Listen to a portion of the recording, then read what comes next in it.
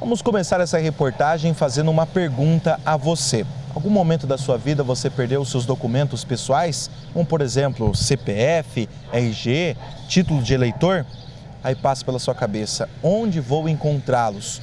Ou você, que está andando pelas ruas, da praça, encontrou alguma carteira, alguns documentos, onde deixá-los? Olha só, tem um recadinho para você.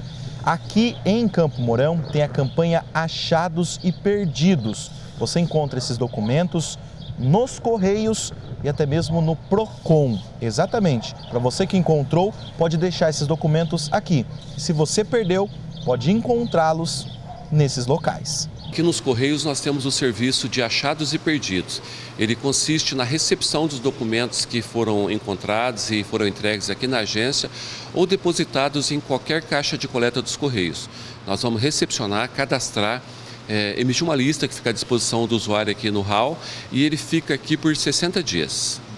Caso ele não seja procurado nesse prazo, nós vamos encaminhar para o órgão emissor. Por exemplo, no caso da CNH para o Detran, no caso do CPF para a Receita Federal e assim por diante. São todos os tipos de documentos, como RG, CPF, título de eleitor, carteira de habilitação, cartão do SUS, carteira de trabalho e objetos pessoais, como chaves e carteiras. Só no Procon de Campo Mourão tem aproximadamente 3.500 documentos. A procura por eles tem sido pouca, segundo o gerente da agência dos Correios. O volume tem sido bem pouco e a retirada também, então o fluxo tem sido bem pequeno. Nós temos a informação de que o PROCON também está com um serviço dessa natureza. Por isso, se você achou, leve os documentos nesses locais, Correios ou PROCON. E se você perdeu, procure primeiro esses órgãos.